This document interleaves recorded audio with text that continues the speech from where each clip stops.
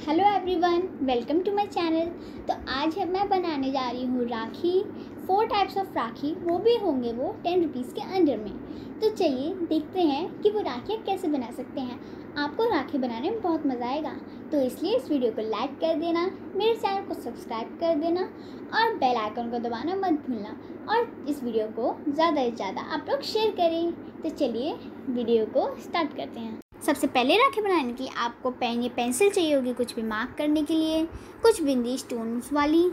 एक sheet Fevicol scissors and एक ribbon ribbon आप कोई भी कलर की ले सकते हैं। तो चलिए देखते हैं कैसे बनानी है। तो फ्रेंड्स सबसे पहले आपको अपनी शीट लेनी है। शीट लेने के बाद उस पर आप पेंसिल या मार्कर से एक अच्छे से कोई भी ड्रॉ कर लीजिए इमेज जैसे कि मैंने यूज़ किया ये।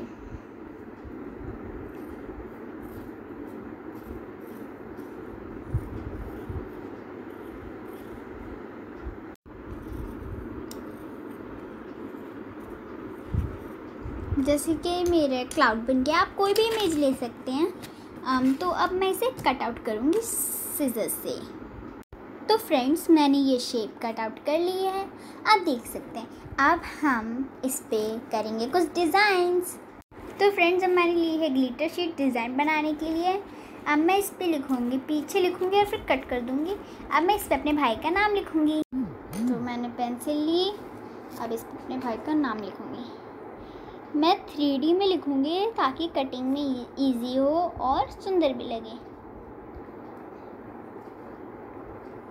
आपको पता है फ्रेंड्स जो राखी हम घर में इतने चीप इतने सस्ते में बना लेते हैं, वही राखियाँ हमें अगर हम स्टोर्स में लेने जाते हैं तो वो फिफ्टी सिक्सटी रुपीज़ की आती है। तो हमें फालतू में अपने मनी को वेस्ट करने की ज़रूरत क्या है? जब हम वही चीज़ें सेम बिल्कुल हम घर पे बना सकते हैं।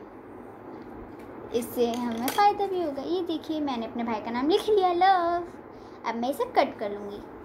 तो फ्रेंड्स आप देख सकते हैं, मैंने ये पीसेस कट कर लिए हैं। कितना तो सुंदर लग रहे हैं ना ग्लिटर ग्लिटरी मेरा भाई देख के खुश हो जाएगा। अब हम इसे इस पर इस तरह से पेस्ट कर देंगे सुंदर से लगा के। फ्रेंड्स सुंदर लग रही है ना मेरी राखी? अब इसको और सुंदर बनाने के लिए मैं स्केच पेन से इसकी पूरी आउटलाइनिंग कर दूँगी। तो फ्रेंड्स हमारी आउटलाइनिंग हो चुकी है। तो अब नेक्स्ट मटेरियल जो है हमें चाहिए डेकोरेशन के लिए वो है फ्लावर ये एक फ्लावर है जो कि मेरे टॉप्स में से जो था, मेरे टॉप में से निकल गया था। तो आप भी ऐसी कोई भी ऐसी मटेरियल यूज़ कर सकते हो। तो अब मैं इन दोनों को एक साथ इस पर पेस्ट कर दूँगी। पेस्ट करने के बाद इस पर थोड़ा, इसे थोड़ी देर दबाए रखूँ। तो इस पर फेविकॉल लगा देती हूँ मैं।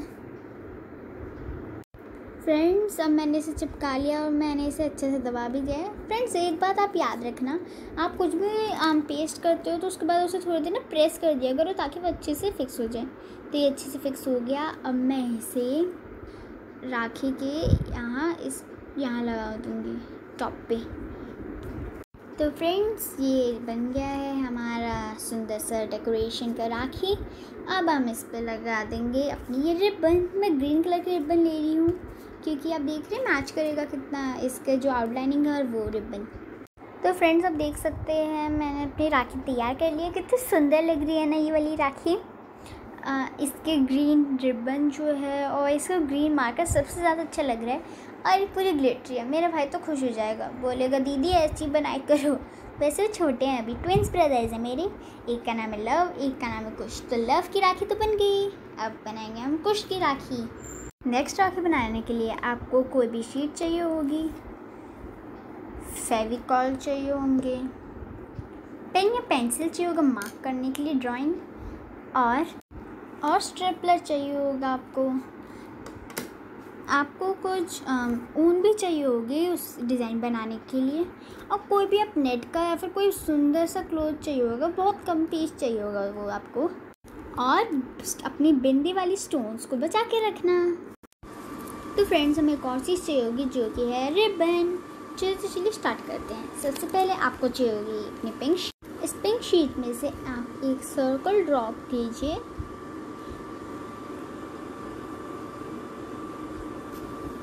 और इस सर्कल को कट कर लीजिए।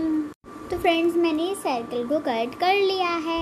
ये बेस होगा हमारे में बेसिकली हमारा बेस होगा ताकि हम आराम से मतलब उस पर फ्लावर बना सके। अब हमें चाहिए होगी पिंक रिबन या फिर कोई भी रिबन, उसके बाद जैसे कि बहुत है, बहुत थिक है, ये बहुत मोटी है तो इसे हम बीच में से ऐसे कट करके पतली कर देंगे।